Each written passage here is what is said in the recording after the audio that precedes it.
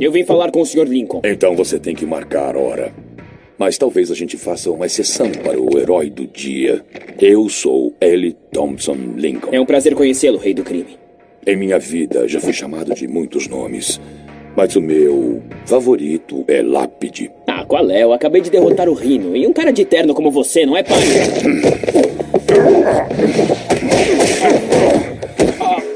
Não se mexa, apenas escute. E vai aprender os fatos da vida. Esse rei do crime, ou seja lá quem for, não tem nada contra os heróis. Nenhum herói consegue diminuir a renda dele. Mas você, você tira os criminosos da rua sem problemas. Você pode até ter conseguido derrotar Rino. Enquanto isso, o grande exército de ladrões que temos está agindo tranquilo, sem que o Homem-Aranha note. Quer dizer que enquanto eu continuar combatendo o crime, vocês vão continuar cometendo outros cada vez maiores? Agora você entendeu. Mas existe uma saída. Venha trabalhar para mim. Ainda vai poder salvar o mundo como um bom herói. Eu até vou te pagar.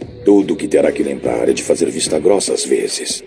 Todas as vezes que eu escolher. Eu nunca faria uma coisa dessas. Vamos acabar com isso. Bem, se você insiste.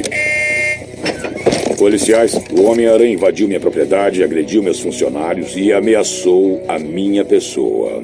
Espera aí, não acredita nele não. Ele é o cara mau, ele que. Parado, Homem-Aranha! Você está preso! Eu nunca fugi da polícia na minha vida. Isso é injusto. Eu ganho todas as batalhas e nunca chego perto de vencer a guerra. Mas o Lápide cometeu um erro. Agora eu sei que existe uma guerra.